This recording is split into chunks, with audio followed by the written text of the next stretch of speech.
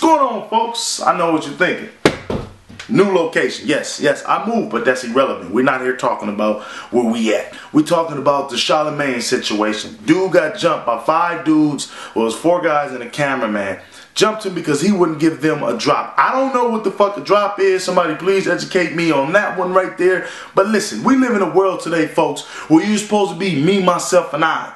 You know what I'm saying? People always expect somebody to hand them something. Guess what? Those people who expect people to hand them something, they're the unsuccessful people. You know, you got to go out and take it. Charlamagne, look, dog, I appreciate you handling the situation the way you did. I heard your radio interview. You know, you kind of basically dust your shoulders off and laughed it off because, like, man, it's petty as fuck.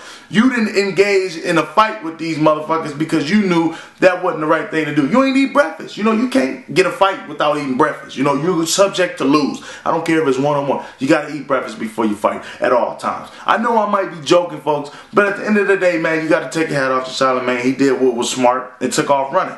You know, you got track star on their ass because you don't know what these motherfuckers would have did to you for a drop. You know? I mean, come on, y'all. Ridiculous, folks. I just wanted to say that. I wanted to get that off my chest. Most people say, oh, Charlamagne's a bitch, he's running.